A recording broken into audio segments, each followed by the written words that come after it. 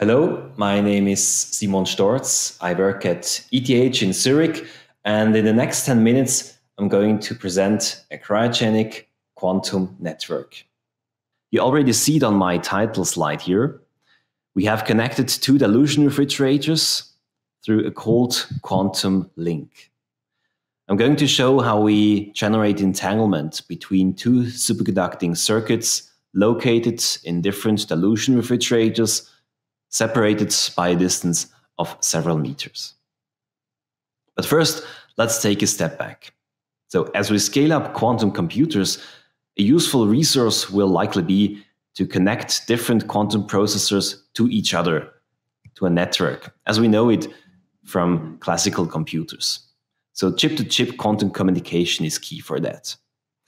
First experiments in this direction have been demonstrated by several groups, doing quantum state transfer and generating entanglement between different chips.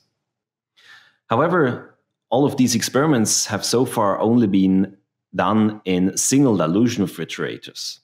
But we think that it will be beneficial in the future to operate chips in separate dilution refrigerators. Because if we make more and more complex chips that require more and more control lines, at some point it will become impractical to add even more cooling power to single dilution refrigerators. And we will also likely run into space constraints. Therefore, today we present an alternative approach, which is quantum communication between cryostats, where the superconducting circuits are operated in different dilution refrigerators but are connected through a dedicated quantum channel. So, how should this quantum channel look like?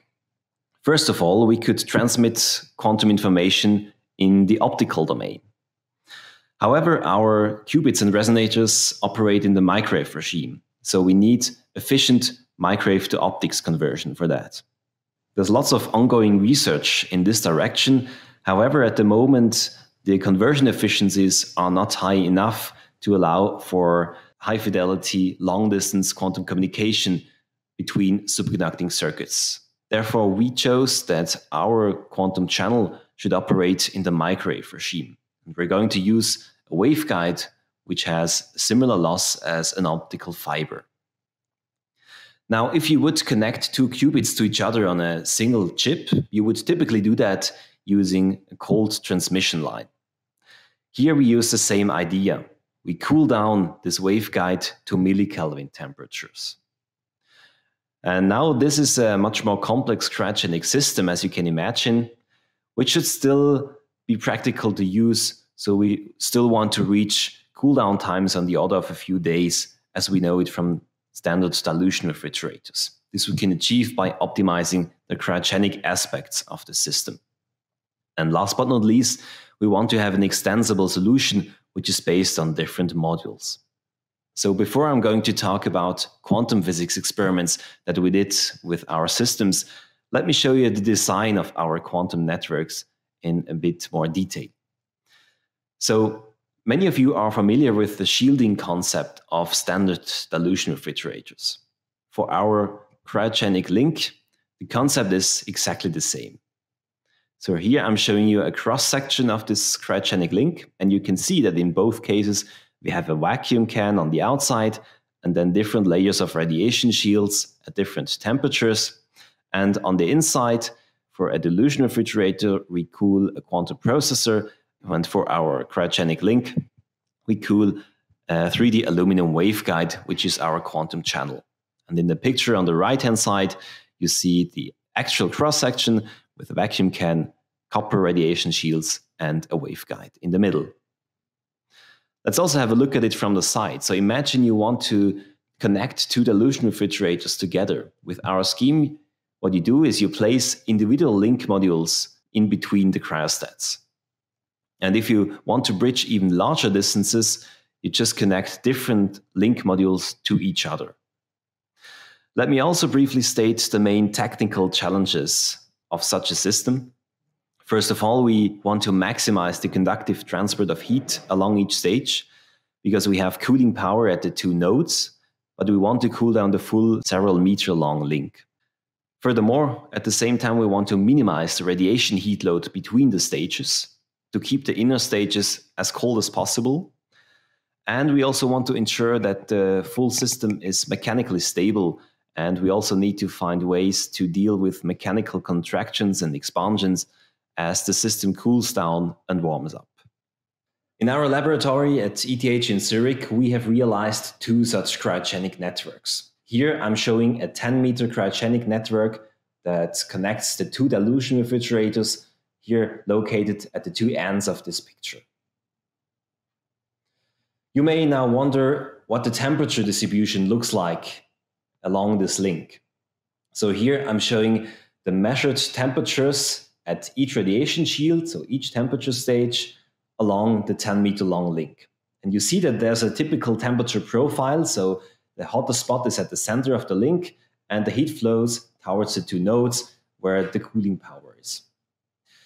This typical temperature profile can also be seen on the base stage, uh, where we reach temperatures around 10 millikelvin at the two nodes and of around 20 millikelvin in the center.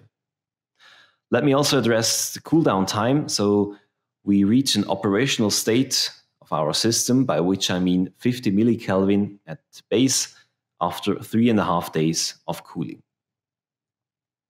Now let me convince you that this type of system is compatible with microwave quantum communication.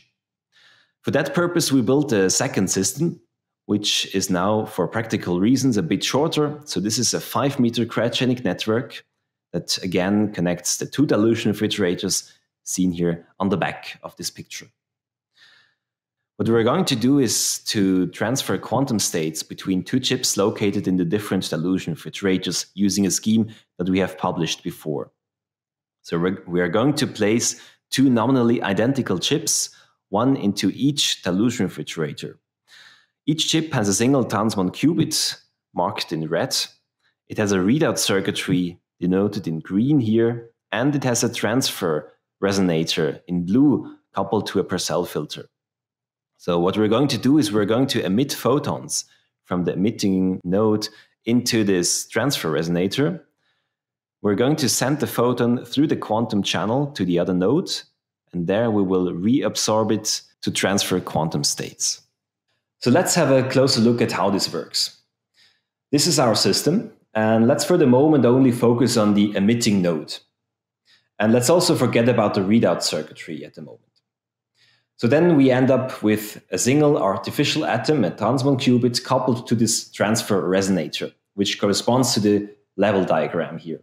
So if you now want to transfer the quantum state from this node to the other side of this quantum link, we first prepare the state that we want to transfer in the G subspace of the qubit. And then as a next step, we map it to the EF subspace of the qubit. Next, we apply a microwave drive at the F0 G1 transition of our system. This effectively transfers the excitation from the qubit into the transfer resonator. This you can also see on the plot on the right hand side. Here we measure the qubit population as a function of time while we drive a pulse at this F0 G1 transition. And if you look at the blue points, which is the ground state population of the qubit, you see that it rises while we while we apply this pulse as the excitation from the qubit is being transferred into the resonator. Next, this photon in the resonator will decay into the quantum channel at rate kappa, and it will travel to the other node. And there, we can reabsorb the photon using the exact same scheme, just applied in a time reversed manner. And this time, in the plot on the right hand side, we look at the receiving qubit. So imagine you send an excited state, and the red points here show the population of the receiving qubit in time while we drive this pulse. And you see that uh, we recover an excited state population of 64%. The black lines underneath represent the master equation simulation, which tells us that this fidelity is mostly limited by photon loss inside the channel and by qubit decay and dephasing while we run this protocol. In a similar manner, we can also generate entanglement between the two qubits. We use the exact same scheme, just this time we essentially send half a photon. And here I'm showing the results of a Psi plus Bell state tomography. The blue bars represent measurement data, and the red outlines correspond to a master equation simulation. These are the Pauli sets, and you also see the GE density matrix of this Bell state. So we reach a Bell state fidelity of 76%, corresponding to a concurrence of 0.68. So, in summary, we have realized a cryogenic connection between two dilution refrigerators at the distance of 5 and 10 meters. And we have shown that our scheme is compatible with microwave quantum communication by doing deterministic state transfer and entanglement generation in such a system. As a next step, we could perform distributed quantum computing algorithms with our system, or we could increase the length to explore concepts of non-local physics and waveguide QED. So thanks a lot for your interest. And if you have comments or questions, we are happy to discuss them with you. So feel free to contact us.